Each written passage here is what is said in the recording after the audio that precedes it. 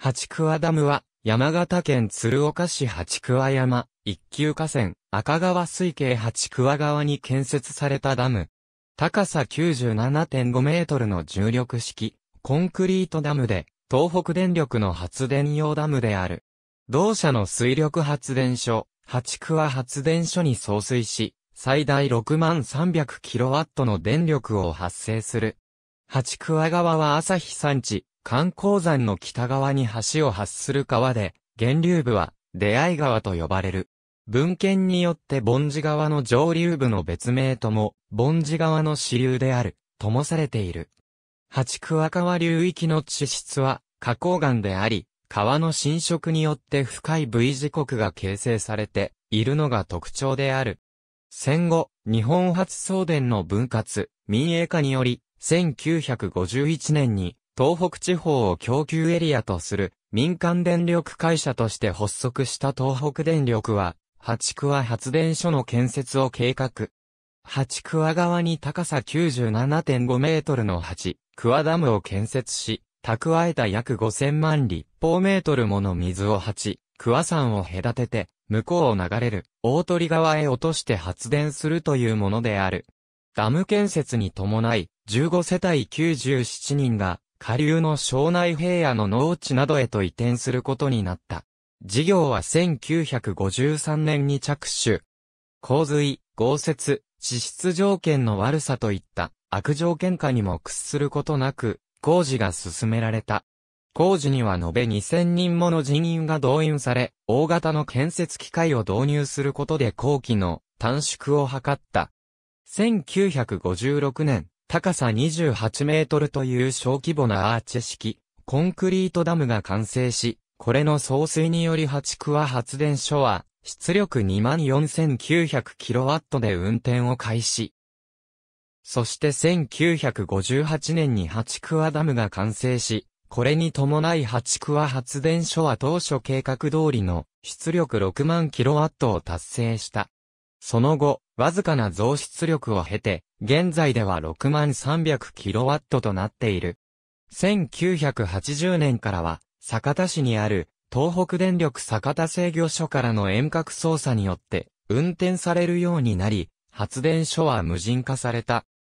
なお、完成当初は山形県内の水力発電所としては、最大の出力を誇っていたが、1990年に、本堂寺発電所が完成したため、現在では、県内、第2位に後退している。鶴岡市中心市街地から赤川に沿って、国道112号を南下、道の駅合算を過ぎると盆地川ダムに続いて、合算ダムが現れる。合算ダムは、国土交通省直轄の多目的ダムで、2001年に完成した赤川水系で最も新しいダムである。ダム湖にかかる朝日合算港大橋を渡り、のことタクトンネルをくぐると、八桑ダムへとつながる八桑林道である。ただし、この道路は舗装はもちろん手入れすら満足になされていない。かつては八桑ダムに至る間に見られた切り立つ岸壁が八桑峡もしくは八桑渓谷と呼ばれ、名称と歌われたというが、現在では路上に草が生い茂り、人の行く手を阻んでいる。このため、大鳥川こと赤川本流沿いの山形県道349号、鶴岡村上線から八桑峠を越えるルートが八桑ダムへ至る、事実上唯一のルートである。県道349号を上流に向かって進むと、八桑発電所がある。八桑山や、海洋峰の真下を貫通するトンネル水路を通じて八桑ダムから水を得ている。発電所の下流には新落合ダムがある。高さ15.5メートルの重力式、コンクリートダムで、東北電力の発電用ダムである。同社の水力発電所、新落合発電所に送水し、最大2万キロワットの電力を発生する。赤川では八桑発電所建設と同時期に山形県の手による赤川総合開発事業が実行されており、八桑発電所からの大量の放流水が農業用水の取水に悪影響を及ぼさないよう、八桑発電所の逆調整地として1958年に完成した。新落合ダムは八桑発電所からの水を一時的に蓄え、新落合発電所を通じて、常時一定量の水を赤川投手港に供給している。新落合ダムの下流には、落合発電所がある。東北電力の水力発電所で、その前身は1900年に、鶴岡水力電機によって建設された、雪沢発電所である。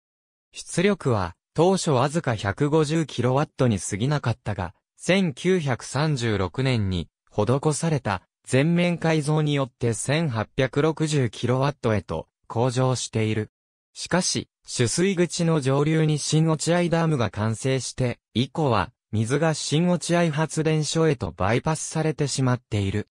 このため、落合発電所が運転できるのは新落合ダムが放流している最中、おおむね毎年3月下旬から6月下旬及び11月から2月上旬までの期間に限られる。八区は発電所の上流には荒沢ダムがある。高さ63メートルの重力式、コンクリートダムで、山形県営の多目的ダムである。赤川総合開発事業の一環として1955年に完成した。荒沢ダムに蓄えた水は、倉沢発電所を通じて下流に放流されている。倉沢発電所の出力は13,600キロワットで、これは山形県営の水力発電所としては最大規模である。上流には、スノーカ発電所及び、草加発電所という2カ所の県営発電所があり、発生した電力は、東北電力を通じて一般に供給されている。ありがとうございます。